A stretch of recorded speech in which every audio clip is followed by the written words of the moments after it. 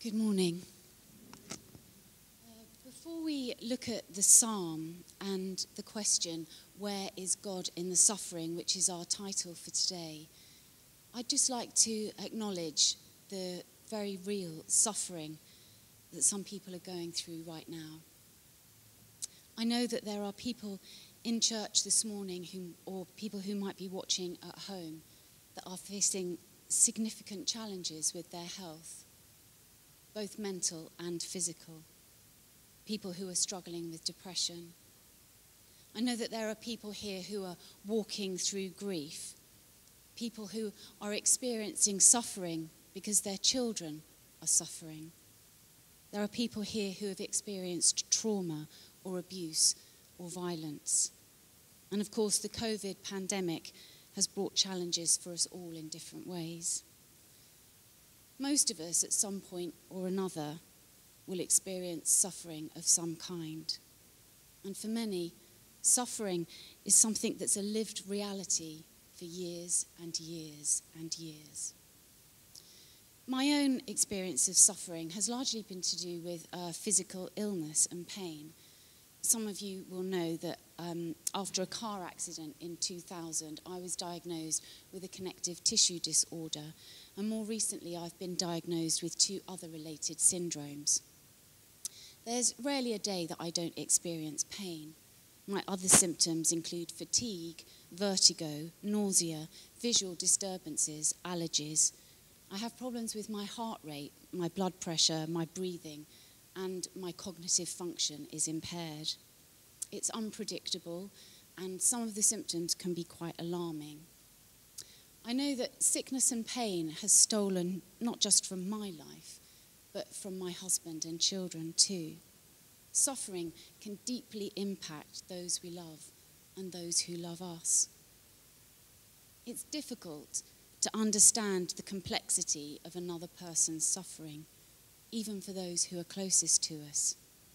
And I'm certainly not pretending that just because I have some health challenges, that I have a deep understanding of the very real and significant suffering that many people here are experiencing now or may have experienced in the past. Suffering can be a very lonely place. And for the most part, we only see the edges of another's suffering, the tip of the iceberg. And it's an iceberg that goes too deep for true companionship. And when our children or those that we love most dearly suffer, it can leave us feeling helpless and impotent. And that's, of course, suffering too. But when we suffer, whatever the depths, God can be with us. We have a God who knows everything there is to know about suffering, not just the theory, but the first hand lived reality. Our Bible is full of accounts of suffering, of grief, trauma, injustice, sickness, anguish, anguish, even to the point of suicide. The Bible does not pretend that suffering is not a reality of life. And we don't pretend either. We live with the circumstances of suffering, the facts, and our feelings around them. We don't have to deny them, and often we can't deny them. They're real and they can be very bad indeed. But as Christians, we hold these facts and feelings in attention with the knowledge of the truth, the truth of God and His goodness. And just as our circumstances can be really bad, we can never, ever overestimate the goodness of God. So we hold the facts and the truth in a balance, sometimes leaning more into one than the other. Before we look at Psalm 13, I'd like to read Romans 5 3. And we boast in the hope of glo- the glory of God. Not only so, but we also glory in our sufferings, because we know that suffering produces perseverance, perseverance, character and character, hope. And hope does not put us to shame because God's love has been poured out into our hearts through the Holy Spirit who has been given to us. So here, Paul, in his letter to the Romans, talks of moving from suffering to perseverance to character and to hope. It's not an easy journey, and it's certainly not linear. We don't necessarily arrive at destination hope and have our feet firmly planted there forevermore. And I think Psalm 13 speaks something of this journey. David has fled, the psalmist, has fled from King Paul and is hiding in a cave. It's a desperate situation. How long, Lord, will you forget me forever? How long will you hide your face from me? David feels abandoned by God in his suffering, and he's leaning into that feeling. But the truth is, God has not abandoned him. Isaiah 41:10 says, "Fear not, for I am with you." Isaiah 43:2, "When you pass through the waters, I will be with you." Hebrews 13:5, "He has said, I will never leave you nor forsake you." Matthew 28:20, "And behold, I am with you always to the end of the age."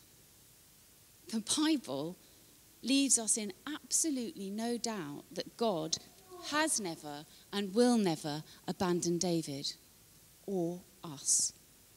But when we're suffering, it can be easier to lean into the facts of our circumstances or our feelings rather than into the truth of God. David is questioning God. But a more dangerous position is to distance ourselves from him completely.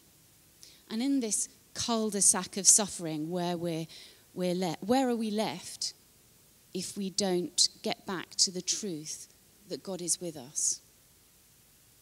Well, we're left alone with our suffering, alone and without hope. It's not a safe place, and there is nothing good there for us. We need to get back into relationship with God, back into the truth of who He is and His goodness as quickly as possible. And we cannot rely on our feelings to motivate us to get there. But we do have some control about how long we stay in this place of questioning or distancing ourselves from God. The most reliable exit strategy from the cul de sac of suffering is the Word of God. For the Word of God is alive and active, sharper than any double edged sword. It penetrates even to, even to dividing soul and spirit, joints and marrow. It judges the thoughts and attitudes of the heart. That's what Hebrews 4:12 tells us. The word of God is a good measure of whether our thoughts and attitudes are in line with the truth. Worship is another weapon, and Elizabeth gave a testimony recently about worshipping in a crisis, raising an alleluia. She didn't feel like worshipping, it was an act of faith. And of course, we have prayer. When we talk with God, we know that He hears us. We can be reassured that He is with us and that we are not alone. And when we persevere in feeding ourselves with biblical truth and spending time with Jesus, we build a foundation that roots us in the place of truth when the storm comes. Perseverance develops the faith muscle that propels us back to the truth so that we can spend no time or as little time as possible in the place of suffering alone, and we can get back to the truth of God and His goodness as quickly as possible. Perseverance encourages us to join with others in prayer and to push in and see breakthrough. We see our prayers answered. We celebrate that, that victory over suffering. It's glorious. God is good, and we see and know and feel his power in our lives. We share our good news, we give testimony to his goodness. Victory feels good. But it doesn't always pan out like that. David writes, How long will my enemy triumph over me? Look on me and answer, Lord my God. Give light to my eyes, or I will sleep in death, and my enemy will say, I have overcome him, and my foes will rejoice when I fall. At this point in the psalm, David isn't seeming very confident of victory. But David is a man after God's heart. That's how God himself describes him. He's a man of character. And when we move on to Christian character, we know that character isn't just about our personality or our disposition. Character is who we are because of our relationship with God. It's a description of who we are as Christians and what we are called to be in our entirety. It's evolving.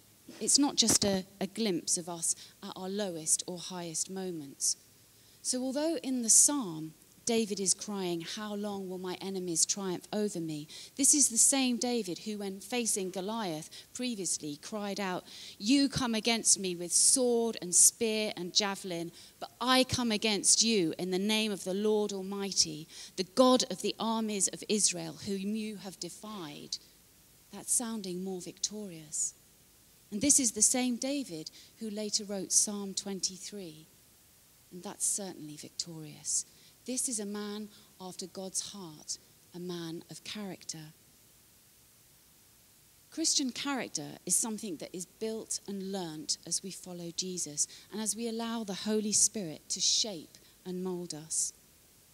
Becoming Christ like is the ultimate goal of the journey. And central to that is following Jesus in submitting our will to God's will. And submitting to God's will is hard. It was hard even for Jesus. When Jesus prayed, Yet not my will, but yours be done, an angel from heaven appeared and strengthened him. Now that is some strengthening, an angel from heaven. And yet, Luke's gospel continues, and being in anguish, he prayed more earnestly, and sweat was like drops of blood falling to the ground. Jesus found submitting to God's will hard. Now, we will never have to experience suffering to the extent that Jesus did. And we can be assured that Jesus knows better than any of us how challenging and costly it can be for us to truly submit to God's will in our lives. But until we begin to do that, we're in danger of missing out on God's goodness and all the treasures that He has for us. Many years ago, I went to a healing conference in America. There was a lot of great teaching, plenty of prayer, people were being healed, and it was really exciting. But if I'm honest, I just felt exhausted. I was unwell and in pain. I'd had so many people praying for me to be healed that I got to a point where I couldn't face any more prayer. I just I felt like I didn't have the energy to be upbeat and manage people's disappointment when I told them that I hadn't been healed. That's my bad, not theirs. And I, I didn't feel disappointed or angry with God or anything like that. I just felt tired. And also at the conference, there were plenty of people giving words of encouragement and prophecies, and I had so many words about joy. And at first I thought, that's not really resonating with me. Maybe they haven't heard correctly, which is really unwise and really ungracious of me, I know. But I was listening out for a word about healing. I was hoping for an encouragement, a promise that I would be fully healed, because then I could be joyful. But I didn't get that. Instead, person after person were giving me words about joy. And to be honest, I was a bit disappointed because I wanted the, the prophecy that I would be healed, and I, I, want that great, I wanted that great feeling that we get when a word from God really resonates with us. A little while after the healing conference, I remember realizing I didn't want my relationship with God to be mostly about me asking Him to heal me. I wanted to talk and listen to Him about other things. And I also remember experiencing a new kind of joy in my life, a kind of freedom. I was still in pain, but my attention was so much more focused on the other things that God was talking to me about. I hadn't closed my heart to Him healing me, I still haven't, I felt released into a, a fuller enjoyment of life. And the words that I had been given at the healing conference suddenly came back to me, and they were remarkably accurate. A few weeks ago, when Mark Ruoff was preaching, he spoke about the grit forming a pearl. And for way too long, I wanted my little bit of grit to form a pearl of my own design. Oh, I've suffered a bit. I've got some grit now. So come on, God, heal me. And then when I'm healthy and pain free, I'll be, I'll be patient and kind. Uh, I'll be a better wife a better mother, a better friend. I'll have an amazing career. Oh, and yeah, sorry, yeah, I'll be a better Christian. And I'll probably do amazing work for the kingdom too. Amen. My fantasy pearl was big and shiny and totally fake. The pearl that God wants to form, well, I don't know what it will look like. I think it might be very different, but it will be real. I know that God can heal physically, spiritually, and emotionally. I've seen physical healings, miracles. It's awesome. And it's absolutely to be celebrated. And of course, we are thankful when we see answered prayer. But I've also stood by a friend as she worships and declares the goodness of God at the funeral of her young child. And I'm regularly amazed and inspired by the Christians, some of them here, who work, walk through the darkest times with peace and joy and grace and hope and thanksgiving. And when we welcome the Holy Spirit to shape and mold us, when we choose to submit to God's will, the results might not be as immediately visible as a, a swiftly answered prayer. But this ability to walk through extreme suffering and remain firmly and sometimes joyfully in the truth of God and His goodness, it transcends worldly understanding. And seeing that has probably impacted me more deeply than any of the miracles that I've seen. It's powerful. It might not feel victorious. But Easter Saturday, the day before the greatest victory history has ever known, probably didn't feel very victorious either. And I believe that when we choose to submit to God's will, there are eternal consequences. To build that kind of character, we have to release our needs, our hopes, and our dreams to God and choose to trust Him. To say, Father, in my suffering, in my struggle, I give you my desire to be healed. I give you my desire to be released from suffering. Lord, I don't know what your plan is, but I'm choosing to trust that your plan is better than my dreams. And it's when we relinquish ourselves, when we've opened our hearts to God's love, to the Holy Spirit, that we're transformed. We move away from the facts of our circumstances to the truth of God into the place of hope. And then, like David at the end of the psalm, we can say, But I trust in your unfailing love. My heart rejoices in your salvation. I will sing the Lord's praise, for he has been good to me. Where is God in the suffering? He's with us, He's close to us, and He's inviting us into an encounter that is deeper than we might know at any other time. It's in the valleys that we learn more of who He is and experience His goodness more acutely and more sweetly than anywhere else, even the mountain tops. And if you're feeling alone in your suffering, if you're feeling like Colin described in the picture this morning, helpless and on the floor, be assured that if you choose to allow God to join you, He will. Because He's already there, He's waiting. Like in Colin's picture, Jesus is coming down off the throne. He's been waiting to pour out his love. You just have to open your heart to receive it. And wherever we find ourselves this morning, whether it's feeling alone in a place of suffering, firmly established in the land of hope, or somewhere in between, God has something for us. Let's open our hearts to receive it.